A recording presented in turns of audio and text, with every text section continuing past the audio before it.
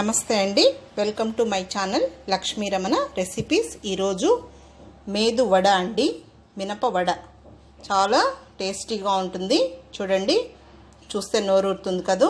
అయితే ఈ మేదు వడని ఎలా తయారు చేసుకోవాలో దానికి కావలసిన పదార్థాలు తయారీ విధానం ఒకసారి చూద్దామండి. ఈ మేదు వడ ఇలా సాంబార్తో కానీ లేదా కొబ్బరి చట్నీతో కానీ తింటే సూపర్గా ఉంటుంది.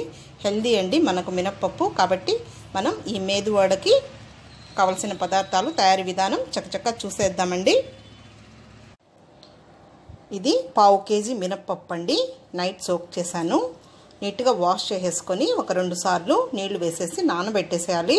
మార్నింగ్ మనం ఒకసారి మళ్ళీ లైట్గా వాష్ చేసేసుకోవాలి.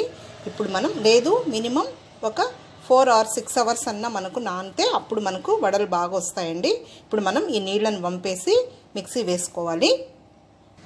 ఇప్పుడు ఇలా ఒక మిక్సీ జార్ తీసుకొని ఈ మినప్పప్పుని ఇందులో వేసేసుకొని మనం గ్రైండ్ చేసేసుకోవాలి. ఈ విధంగా మిక్సీ వేసేసుకోవాలి. మరి మెత్తగా కాకుండా అలాగని మరి బరక్ కాకుండా ఈ విధంగా మీడియంగా వేసుకోవాలి. ఇప్పుడు ఈ పిండినంతా ఒకసారి కలుపుకోవాలి. ఇలా మనము ఫ్లఫీగా వచ్చేటట్టు కలుపుకుంటే మనకు వడలు బాగా వస్తాయండి.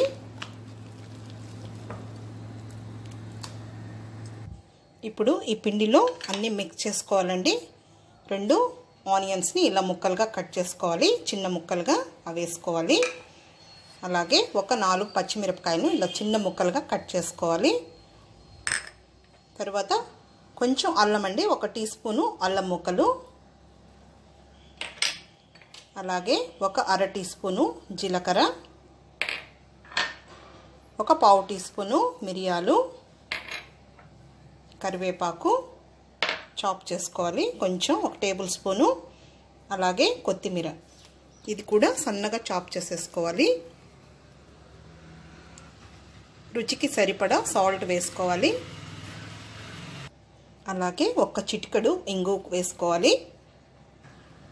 ఇప్పుడు ఈ పిండినంతా ఇలా ఆనియన్స్ మిర్చి అన్నీ రబ్ చేస్తూ మిక్స్ చేసేసుకోవాలి. అంతా కలిసేటట్టు ఆల్రెడీ మనం పిండిని ప్లఫీగా చేసుకున్నాము. ఇదంతా కూడా బాగా మిక్స్ చేసేసుకోవాలి. ఎప్పుడైనా కానీ గారెలు చేసేటప్పుడు ఈ డైరెక్షన్లో మనం మిక్స్ చేసుకుంటే ప్లఫీగా వస్తాయి. వడలు ఇది ఇలాగే ఒక హాఫ్ అన్ అవర్ ఫ్రిడ్జ్లో పెట్టి మనం వడలు చేసుకుంటే చాలా బాగా వస్తాయండి. ఇప్పుడు పిండిని ఈ విధంగా కలిపిన తర్వాత అలాగే ఒక పది నిమిషాలు పెట్టి మనం వడలు చేసుకోవచ్చు. లేదు అరగంట ఫ్రిడ్జ్లో పెట్టి చేసుకోవచ్చండి. చేతికి కొంచెం నీళ్ళని తడుపుకొని ఈ విధంగా రౌండ్ బాల్ చేసేసుకొని మధ్యలో ఇలా హోల్ పెట్టి వేసేయచ్చు. లేదు మనం టీ స్ట్రైనర్తో కూడా వేసుకోవచ్చండి. ఇప్పుడు డీప్ ఫ్రై కాయలు పెట్టానండి. ఈ విధంగా తీసుకొని ఇలా హోల్ పెట్టేసి ఈ విధంగా వేసేసుకోవాలి. వంట సోడా ఏమీ అవసరం లేదండి. ఇంకా ఇదే విధంగా అన్నీ వేసేసుకోవాలి. పిండిని కరెక్ట్గా కలుపుకుంటే మనకు వడలు బాగా వస్తాయండి. వీటిని బాగా కాలిన తర్వాత ఇంకొక సైడ్కి తిప్పుకోవాలి. వడలు కాలిపోయాయండి. మంచి కలర్ వచ్చాయి. ఇప్పుడు తీసేసుకుందాము. నాప్కిన్ వేసుకున్న ప్లేట్లోకి తీసేసుకోవాలి.